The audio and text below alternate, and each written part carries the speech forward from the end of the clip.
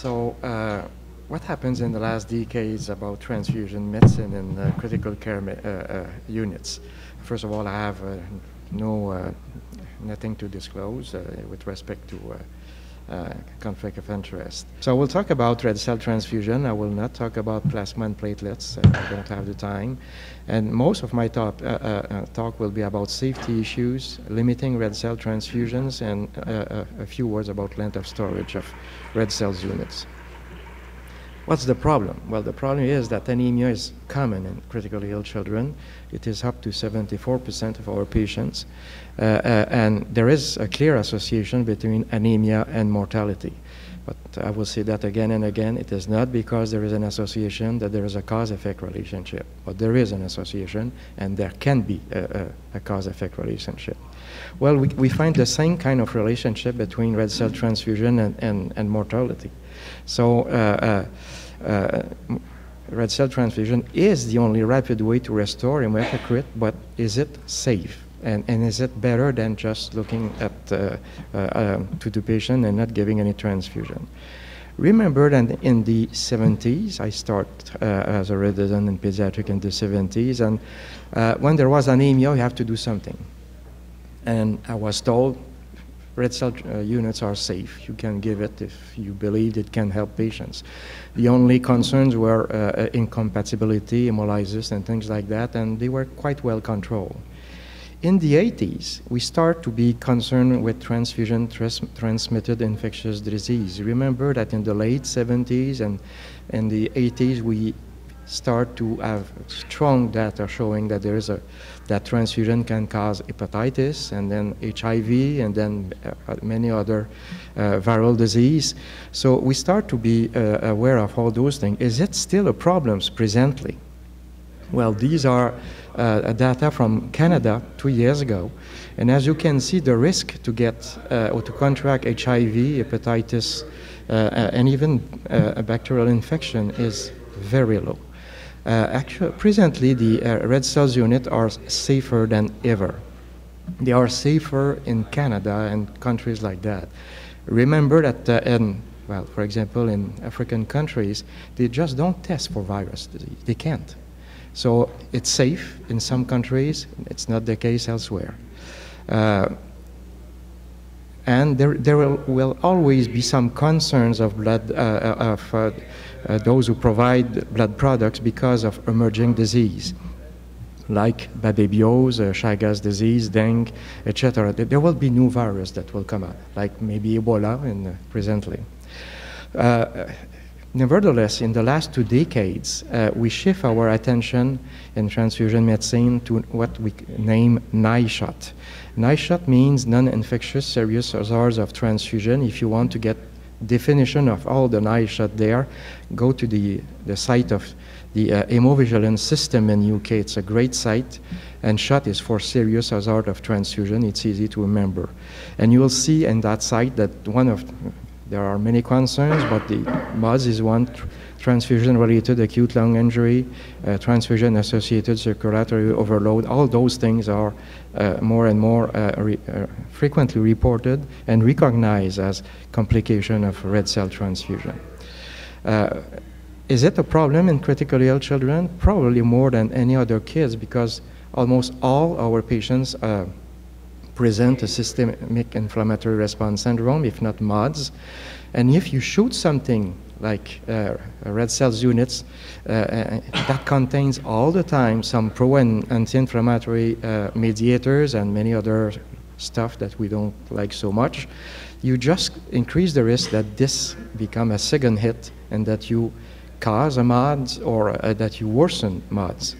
So uh, uh, to give you an example, uh, one of the, in my own unit, we put attention in the last two years on what we name transfusion-associated respiratory complication. Why? Because I and, well, we believe that these are under diagnosed and under-reported. And this is the case because presently the definition of uh, transfusion-associated respiratory complication is, those definitions are, are appropriate for patients who are asymptomatic But in those definition, uh, it's written that the patient should be asymptomatic before they start their transfusion. So it eliminates all our patients because most of our patients who receive a transfusion already have uh, respiratory symptoms. So we just look at what uh, we name progressive uh, uh, respiratory dysfunction. Uh, the question was, can we see some worsening of respiratory function after, after a transfusion? And well, we observed su uh, such deterioration of the respiratory function in 52% uh, of transfused patients in that small preliminary studies. Uh, most of them uh, uh, present what we name respiratory dysfunction, progressive respiratory dysfunction, because we observe a 20% deterioration in, in blood gas data and things like that. We observe also a few, uh, uh, what has been named delayed TRALI, TRALI that happens, or transfusion-related uh, acute lung injury that happens more than six hours after transfusion. Is this a problem? I, I show that slide just because I believe it, it question people. It must question you, and there is room for research there.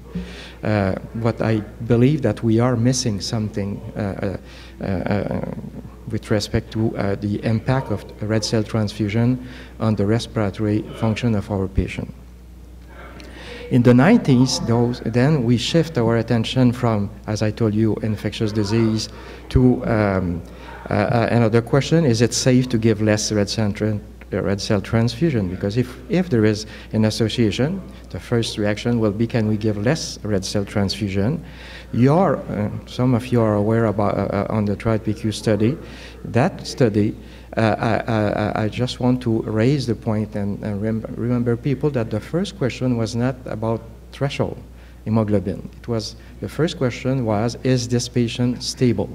And the definition of stable was exactly what is written there. Uh, uh, the mean arterial pressure is not less than two standard deviation below normal for mean for age, and there was no increase in the cardiovascular support in that patient in the last two hours. If the patient was stable as defined, then they were uh, eligible for TRIPICU, and then we look at the uh, hemoglobin level. And in, this, in that study, there were two thresholds, you know that, and, and patients who were allocated to the restrictive groups just uh, uh, uh, these are the results, show no difference at all. What is funny also is when we look at the um, outcome in all subgroups, and I, it's on purpose. You can see there was many planned subgroup analysis and unplanned. In all subgroups, we get the same results. There was great consistency of results, and this is not so common in RCTs.